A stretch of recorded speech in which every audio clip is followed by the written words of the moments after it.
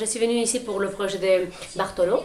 euh, pour, euh, pour découvrir cette musique un peu espagnole. Et ce projet fusionne entre la musique euh, gitane, la musique tzigane, la musique africaine. Voilà, tout ces- sa vision sur la musique m'intéresse beaucoup. Et alors voilà, j'ai fait un voyage pour faire un autre voyage musical avec eux.